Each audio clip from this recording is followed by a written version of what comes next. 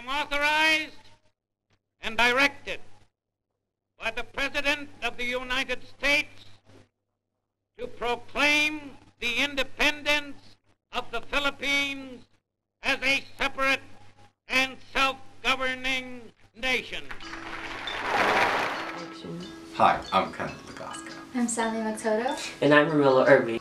And today is the 119th Philippine Independence, Day!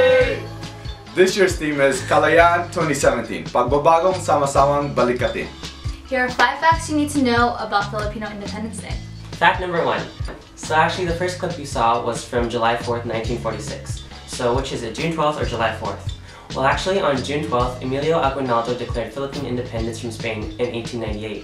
Unfortunately, what followed was the Philippine-American War and another 43 years of colonization and imperialism under the United States. Then on July 4th, 1946, the US granted independence to the Republic of the Philippines. It wasn't until 1964 that Diosdado Macapagal issued Republic Act No. 4166, which changed Independence Day from July 4th to June 12th and renamed July 4th Republic Day. Fact number two. The KKK or Kataas-Taasan na Katipunan ng Mga Anak ng Bayan was a secret society founded in 1892 by Andres Bonifacio with the purpose of gaining independence from Spanish rule with any means necessary. Originally starting in Manila, the Katipunan spread to different provinces where they recruited all those qualified to fight their cause. In 1896, the group's existence was unfortunately made public to Spanish authorities. In response, Bonifacio congregated all the leaders and members in a meeting where the majority agreed on declaring a nationwide armed revolt. This would ensue the beginning of the Philippine Revolution, a war that Bonifacio himself does not survive but would end in the country gaining uh, its independence from Spain behind the leadership of Emilio Aguinaldo. Fact number three. June 12, 1898, Emilio Aguinaldo declared Filipino independence and opened the first ever democratic institution in Asia and officially became president. The Treaty of Paris officially ended the Spanish-American War, and therefore Spain lost the war to America and sold us for 20 mother million dollars. Okay? And mind you, America accepted it to ratify the treaty. These motherfuckers actually wanted to believe that we, the Philippines, wanted them to take over. We were now US territory. Two weeks after Aguinaldo's inauguration, an American sentry killed a Philippine soldier stationed at the San Juan Bridge in a gesture of resistance against newfound Philippine independence, which then started the Filipino-American War. Fact number four. In response to the US occupation of the Philippines, Aguinaldo launched a new revolt, this time against the US. Under President McKinley, the Philippine-American War had begun. While the Katipunan fought hard the guerrilla warfare, US forces were able to capture Aguinaldo in 1901, who then took an oath to the US and ended the rebellion. In 1902, the insurrection was declared to be over. So, July 4th, 1946 was the day when America officially recognized the Philippines as being independent, and this was through the Philippine Independence Act, also known as Tydings-Duffy Act. It was an act that offered Philippine independence. However, because America didn't believe Philippines can govern themselves, there was a 10-year transition period trying to ease Philippines into governing themselves. This was under the guise of democracy, but there were other results as well.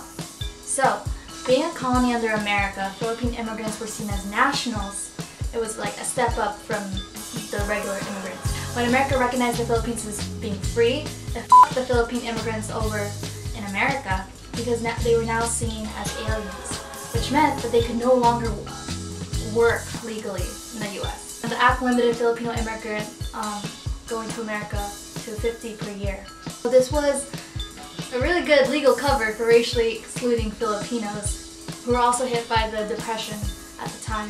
Now, why did America let Philippines go? So there are many factors that led up to that. Part of it is that in the 1930s, America was being isolating. They didn't really care about foreign relations, partly because they already had a war with Europe, and so they had debt accumulating, and their stock, stock market just crashed in 1929, so they weren't at all concerned. So President Roosevelt withdrew from Asia. Also, America didn't want to have to support the Philippines if Japan attacked it. But are we truly independent? In 2017, we still see the effects of Spanish and American colonialism. In terms of the economy, the Philippines is largely dependent on overseas Filipino workers, or OFWs, who are usually sent to America in hopes that they'll send money back.